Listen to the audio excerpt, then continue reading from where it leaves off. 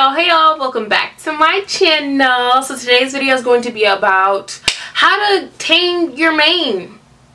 Not this mane that mane. How to get your coochie hairs together girl. If that's something that you're interested in keep on watching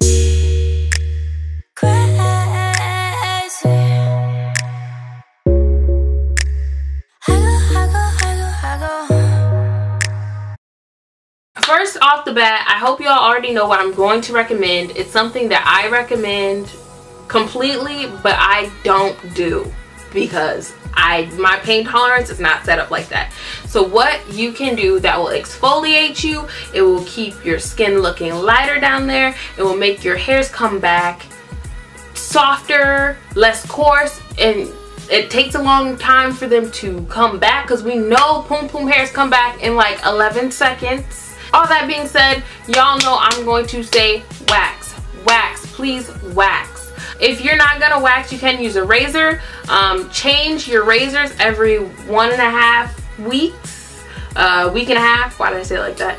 Um, change your shaver. Do not use shaving cream or any type of cream or conditioner or anything like that on your poom poom to shave. Use you some coconut oil or the soap that you use down there to shave. Shave in one direction. Do not shave all willy-nilly. If you have curly hair don't start trying to shave like this because that's the direction y'all hair growing. Just shave straight down. When you're done shaving go ahead rinse that off and then use a mixture of baking soda black or black seed oil. Make sure make sure you use a mixture of baking soda, lemon, and brown sugar and then just exfoliate there. You can exfoliate your inner thighs there as well and then that'll keep everything good. Do not shave in your butt crack. Oh my gosh. Oh my gosh. I did that once and you will have mm, girl um if you're gonna if you need your booty crack done you just gonna have to suck it up and get that wax girl because if you get an ingrown hair in your booty crack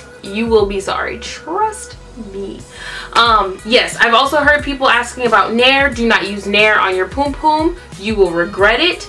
It will give you chemical burns. If you use that now, keep on doing what you do. More power to you. But if you don't, don't even try it because no. I've tried it before.